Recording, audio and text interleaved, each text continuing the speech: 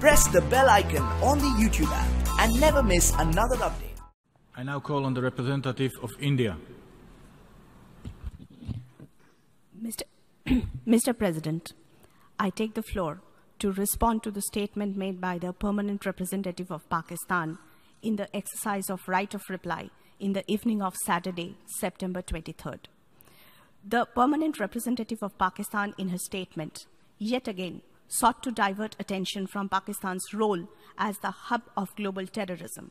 She did so by callously holding up a picture of an injured girl.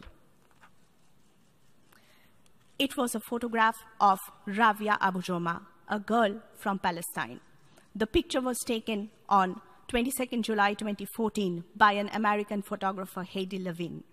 This photograph was published by New York Times on 24th March 2015 under the caption Conflict, Courage, and Healing in Gaza. The permanent representative of Pakistan misled this assembly by displaying this picture to spread falsehoods about India, a fake picture to push a completely false narrative.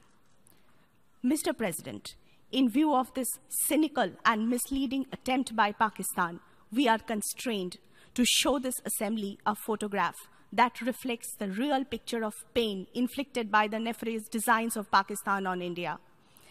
This is a real and not a fake picture of Lieutenant Umar Fayyaz, a young officer from the Indian state of Jammu and Kashmir.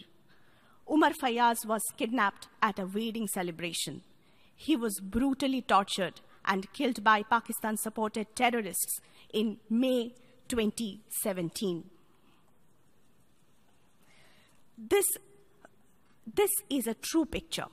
It portrays a harsh and tragic reality, a picture of terrorism emanating from across our borders that the people of India, especially in the state of Jammu and Kashmir, have to struggle with every day.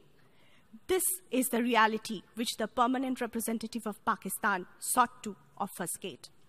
Mr. President, the true face of Pakistan is not hidden from anyone. I thank you, Mr. President.